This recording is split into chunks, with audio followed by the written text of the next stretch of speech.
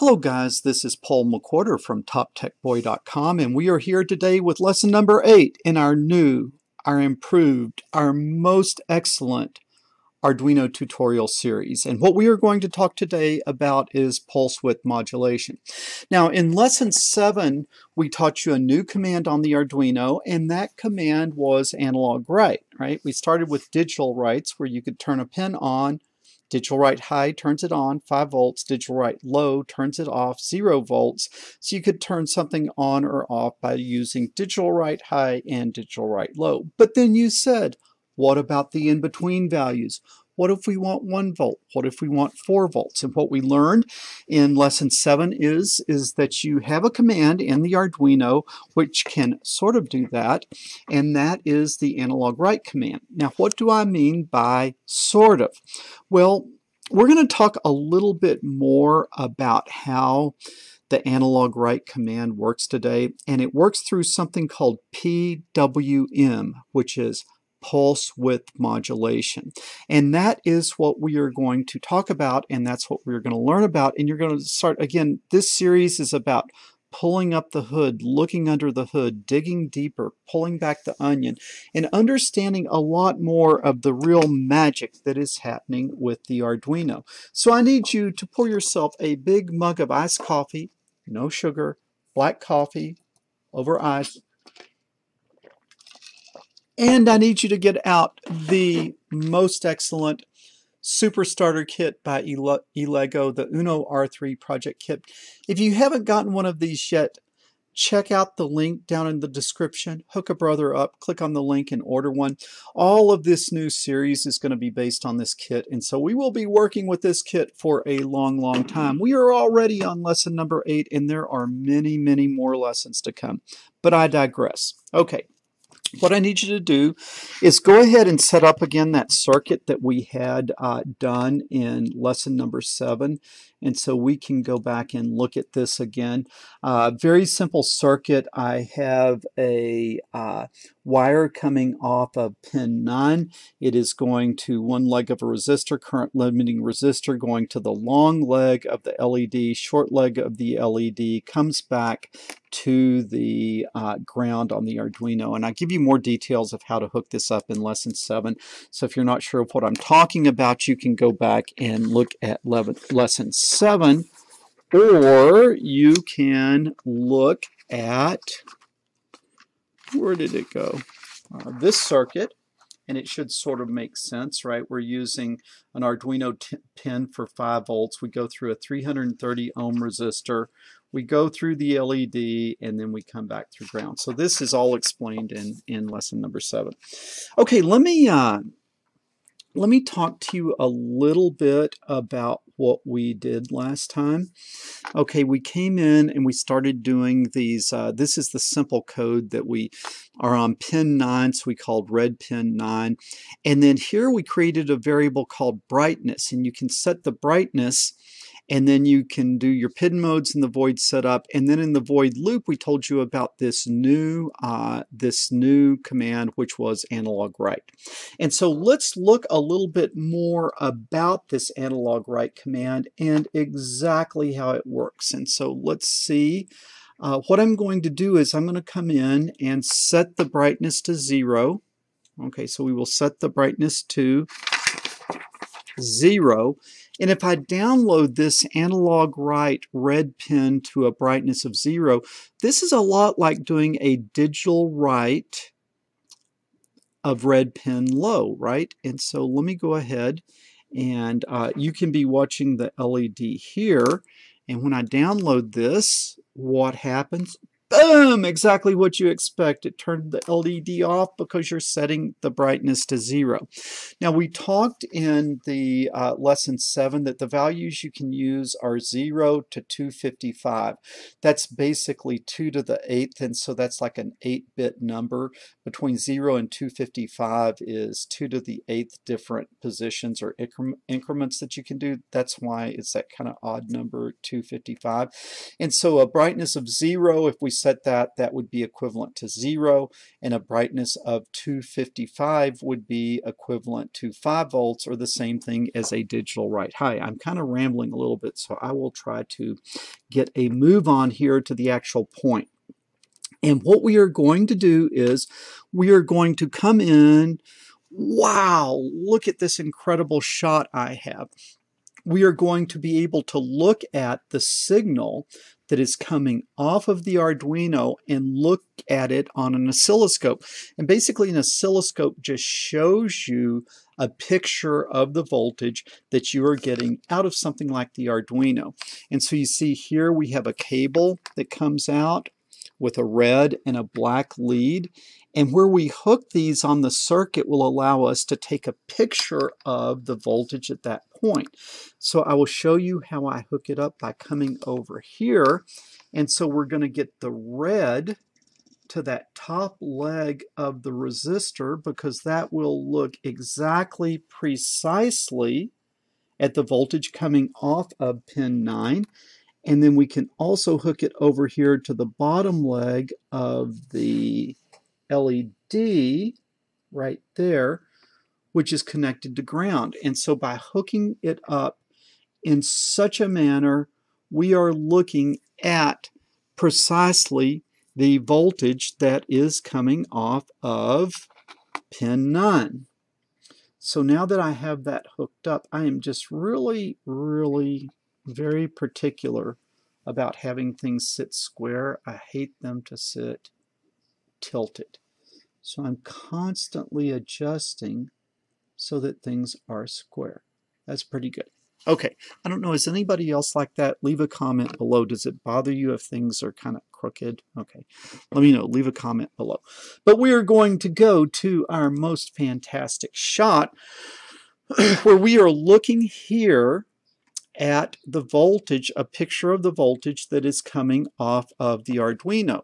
Well, what did we set the Arduino to? We wrote a zero, and so we would expect zero volts out. If we look at this, it is coming straight across right in the middle, which is zero divisions, okay? And so we told it to output a brightness of zero or zero volts. All right, we're getting zero volts. What would be the next thing that we could do?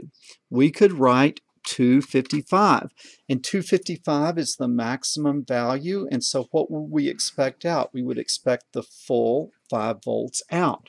And then we would also expect when we download the uh, the 255 uh, we would expect the LED to come on. And so let's come over here let's download it got the happy little green bar and boom! The red LED is on full brightness. Now, ladies and gentlemen, let's come over here and let's look at the oscilloscope. In fact, I'm going to zoom in on the oscilloscope. Remember, it was down here, but now it is up like this is uh, one division, two divisions, about 2.4 divisions, okay? And the knob is set on 2 volts per division. And so if I have 2.4 divisions times 2 volts per division, that is telling me that that's an output voltage of about 4.8 volts. Now understand the thing about an oscilloscope is it's really intended to show you a picture of the waveform. It doesn't show you an exact value. If you wanted an exact value, you would go get a digital voltmeter and read the voltage. Uh, the, the nice thing about the oscilloscope is it shows you a picture of the voltage, but it's not exactly accurate. And so where we're getting 4.8 volts, that is really pretty good and, and about as close as you would expect working with a uh, working with a oscilloscope. Let me see. Let me make sure that I had that grounded out good. Yeah, that was good. And so that is uh, that's probably about as accurate as we're going to get. So what's going to happen if I come over here and I need to show you this view again. So what happens if I come over and I write a zero brightness? Okay, keep your eyes on this right here where my pen is pointing. And now I'm going to download. Boom, it goes to zero volts. All right, I'm going to go back to 255. boom, it pops up to 5 volts. It is behaving exactly the way that we would expect it. All right. Well, let's do a half, right? What would, if we wanted, instead of five, if we wanted two and a half volts, that would be like, that would be like 255 divided by two, because that would be half of five. We would put in like 127. And so we're going to come over here and we're going to put in 127 for the brightness. And then that should make the LED half brightness. And then this should come down halfway to like uh, a little over one division, right? So let's download it. Uh, uh-oh. What happened? Well, the LED went to half brightness, but we have something strange going on on the oscilloscope, something very strange. So let's zoom in. So when we set a brightness of 127, we were expecting, instead of being up here at 5 volts, we were expecting to come down to 2.5 volts. But do you see what's happening? It's simulating 2.5 volts by switching back and forth between 5 and 0, 5 and 0. And it's at 5 half the time and it's at 0 half the time. So it's averaging, it's averaging two and a half volts. Does that make sense? It is averaging two and a half volts. So when we say like do an analog write of 127 for two and a half volts, it doesn't give us two and a half volts. It gives us five, zero, five, zero, 5, 0. Also, let's look and see what kind of period this has. So we start here, and then we go 1, 2, 3, 4. It looks like about 4.2 divisions. So we have 4.2 divisions, and it is set on 0.5 milliseconds per division, so I'll multiply by 0.5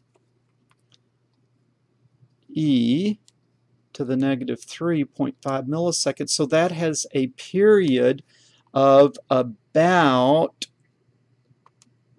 let me get this here. It has a period, I'm getting my calculator set up. Uh, it has a period of about four milliseconds. Okay, it's got a period of about four milliseconds, and what this is doing is it's staying at five volts for two milliseconds, and then it is staying at zero for two milliseconds. With that averaging out to uh, about two and a half volts. So that is called pulse width modulation. So you have four millisecond period, and then how much of that period do you stay on and how much of that period do you stay off? And so let's get a really dim number, like let's set it to 10. And we would expect 10 to be 10 divided by 255. We would expect that to be, or let's see, 10 uh, divided by 255 times 5. We would expect that to be about 0.2 volts. Okay, and so let's download that. And I, oh my goodness, so look at that. It is, uh, and it, it is where you can barely even see how long it is on. I'm trying to get it to trigger a little bit differently. It's kind of hard to trigger when you're like this. Let's see if I can. Okay, that's pretty good. There you go. Okay, so you can see that it is on for just a very, very small amount of time. It's at 5 volts and then off most of the time. And so you can see that this would be equivalent to an average of about 0.2 volts because I'm on for 5 volts for a very short period of time and then off most of the time. What if we went instead of 10? Let's see if we can even see it if we go to 1. It might get so small that we can't even see it. Okay. Oh, you can sort of see it, just that barely tick there. So it's like here, here, here. Do you notice as we're doing this, the period isn't changing. The period is still the same width, 4 milliseconds, but we're just leaving it on for a short period of time. Or let's put it at 10. a longer period of time, okay, do you see how that's on longer? What if we go to 100? It's on for even longer. What if we go for, uh, that's not liking the trigger there very much. Okay. What if we go to 200? That's going to be on for most of the time and then just off for a little bit. And then what if we go to like 250? Okay, and that is on almost the whole time with just that one little click, uh, that one little tick down. So what you can see is pulse width modulation has a constant period and it's just changing how, what fraction of that period the signal is on versus the signal is off, thereby creating not two and a half volts, but if you average over the period an average of two and a half volts. And so that is how the analog write function on Arduino really works. And what we're really getting is pulse width modulation, which we have kind of explained today. Now, the other thing that I will show you is what if you really wanted an analog voltage? If you really wanted an analog voltage, you could put a capacitor across there, and the capacitor would smooth out that up and down and give you the average value. For something like this, I am using about a thousand microfarad capacitor, and so that is a pretty darn big capacitor. Uh, I'm going to come over here back to this shot. Is this the shot we want? Yeah, that's a good shot. So what I'm going to do is I'm going to take this oscilloscope off and then these capacitors, a lot of times they have a polarity to them, so you got to make sure that you're putting the negative to the negative and the positive to the positive. And so I'm going to hook this across the voltage that's coming out of the Arduino. Hook it across there like that. So I go the positive lead to the positive voltage and the negative lead of the capacitor to the uh, ground. And now I'm going to hook the oscilloscope back up Okay, and so now let's put in some values. Let's put in, and okay, since you can kind of see this, I'll just go to the oscilloscope full screen again. Okay, so let's, uh, uh, no, let's go back. Okay, so you can see what I'm coding. So let's put in 255, download it. Okay, and boom, we are up to the full 5 volts. What if I put 127, which would be about half of that?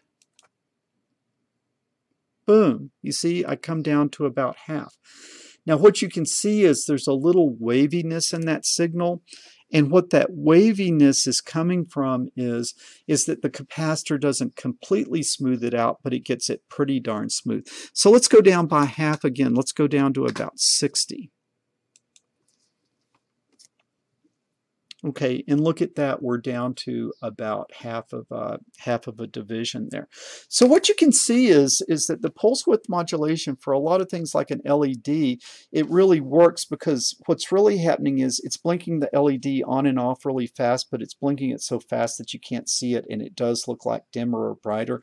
Same times, same thing a lot of times with a motor this uh, it'll sort of average it out as well. That's the way pulse width modulation works. If you want a true analog signal, you're going to have to look more into capacitors and use a capacitor to smooth out the signal.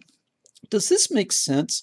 I feel like I rambled a little bit too much in this. Uh, I feel like I rambled a little bit too much in this video.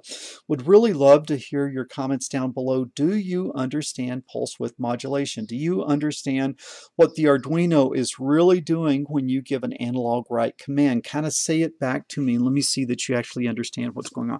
Really enjoy it when you guys comment, like it even more when you give me a thumbs up or share the video. And uh, hope you'll stay tuned. We're going to have a lot more great videos coming. Don't forget this series, Iced Coffee, No Sugar. Paul McWhorter from TopTechBoy.com. I will, I will talk to you guys later.